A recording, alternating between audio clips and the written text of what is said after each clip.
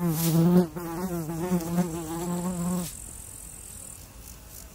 panthers inhabit areas of America, Asia and Africa and can be found in rainforests, swamps, savannas, mountains and even deserts. Black panthers are an endangered species because of excessive hunting, loss of natural ha habitat, environmental pollution and global warming.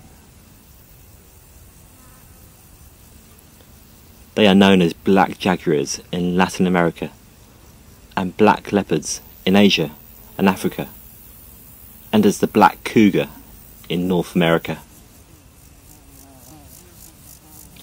Black panthers measure between 7 to 8 feet in length and weigh in at between 100 to 250 pounds. They are carnivores and hunt and eat everything from birds and reptiles to large mammals. Black panthers are solitary animals and will meet only when they mate. Female black panthers have a gestation period of three months and will give birth to between two to four babies and she will take care of them herself. Newborn cubs are born with their eyes closed and covered with light fur at the age of between two to three months, they learn how to hunt from their mother.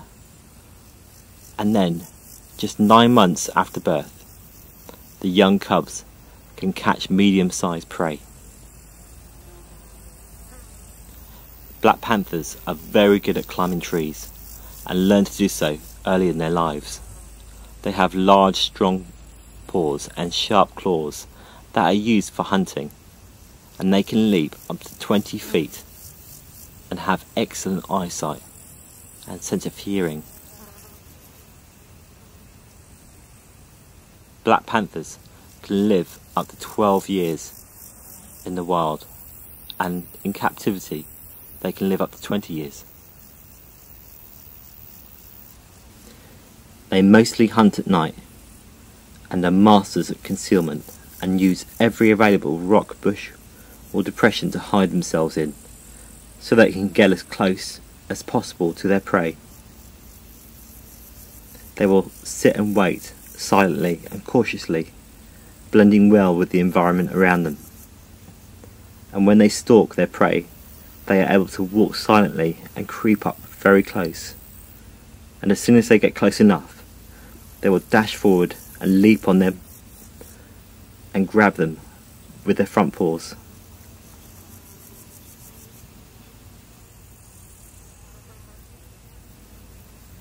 A black panther can also hide amongst the tree leaves on a tree branch and then drop down on top of the prey when they pass by.